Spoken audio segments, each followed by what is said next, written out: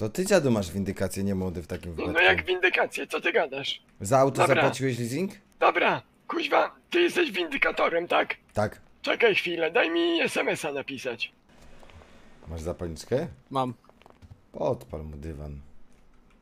Gdzie są pieniądze za tego Enusa, coś kupił? E, Jakiego Anusa? Co ty gadasz? Auto. Windsor, a Przerwa nie Anus jakiś. Autoś kupił, nie za, leasingu nie płacisz, kurwa. Dawaj coś. konto, kuźwa. Bo dość mam, dość mam. Y, 99864. Masz i spierdalaj. Spierdalam. Będziemy jutro. Powiedziałem. Już wychodzę.